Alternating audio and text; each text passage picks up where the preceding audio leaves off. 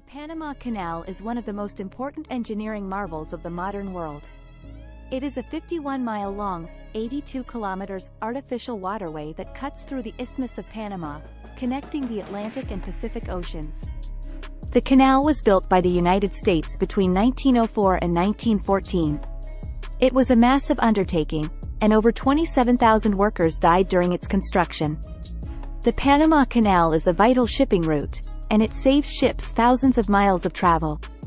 It is also a major tourist destination, and millions of people visit the canal each year. In this video, we will take a closer look at the Panama Canal. We will discuss how it was built, how it works, and its impact on the world.